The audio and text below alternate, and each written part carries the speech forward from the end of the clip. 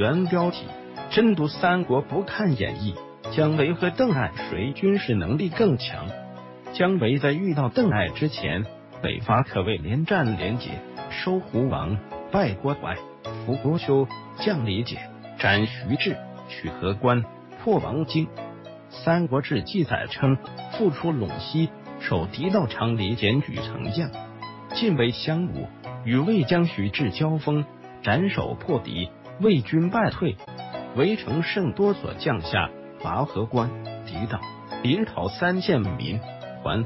后十八年，复与居济将军夏侯霸等拒出狄道，大破魏雍州刺史王经乌陶溪，惊众死者数万人。《三国志》尤其是陶溪之战，姜维一举击溃雍州数万大军，对魏国西线造成重创。这是诸葛亮时期都未曾有过的大捷，北伐似乎迎来了希望。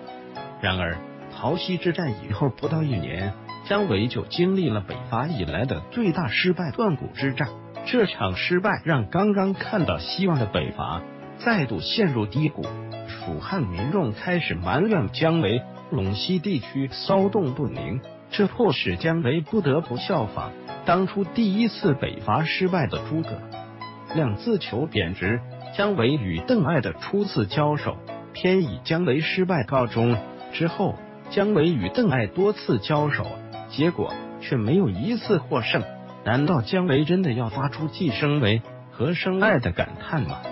断谷之战，胡济失约十九年春，就迁为为大将军，更整队戎马与镇西大将军胡济西会上归。几失事不至，不为为魏大将邓艾所破，无断骨，星散流离，死者甚众。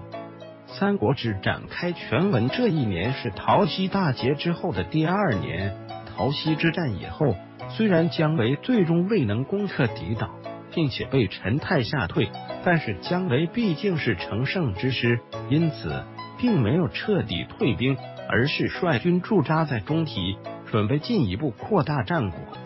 第二年，姜维被蜀汉朝廷册封为大将军，休整兵马以后，向上归进军。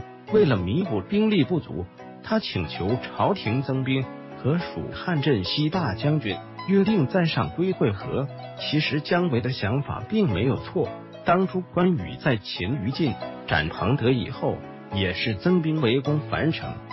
当时姜维率军不到三万，他想要进一步扩大战果，彻底摧毁魏国西线的抵抗力量，必须增调兵力。原本姜维的计划是围点打援，以自身为诱饵，将魏军吸引到上邽，然后让胡济绕到魏军背后夹击魏军。然而胡济却没有按照约定的日期到达预定的地点，这直接导致姜维部被邓艾包围，却一直没有等到胡济的援军。姜维虽然见情势不妙，拼死突围，但依然损失惨重。秦川之战，万爱不应。又过了一年，魏国征东大将军诸葛诞在淮南起兵。魏国为平定诸葛诞叛乱，调遣了大量西线兵马到西线，姜维乘西线空虚，率领数万兵马进军秦川，出了古到神岭，准备进攻长城。当时长城守军兵力不足，却积累了大量粮草，这意味着一旦让姜维夺取长城。蜀军可以获得大量补给，这将会对魏国造成很大的威胁。但是长城粮草众多，同时意味着邓艾有足够的资源让他去坚守待援。因此，面对姜维的进攻，邓艾选择坚守。无论姜维怎么挑衅，邓艾都不回应。这时候，姜维也感受到了当年齐恩师诸葛亮面对司马懿时的无奈。后来诸葛诞败亡以后，姜维也就撤退了。侯河之战，姜维受挫，大概是姜维自身对北伐已经心灰意冷，再加上朝堂上把持朝政的黄皓对姜维的排挤，在秦川之战以后，姜维整整五年没有发动北伐。此时的姜维已经在达中屯田避祸。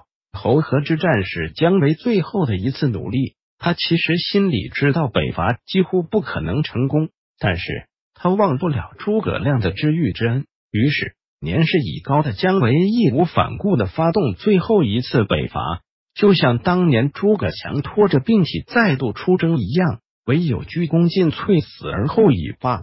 由于兵力悬殊，不出意外，这一次北伐再度失败。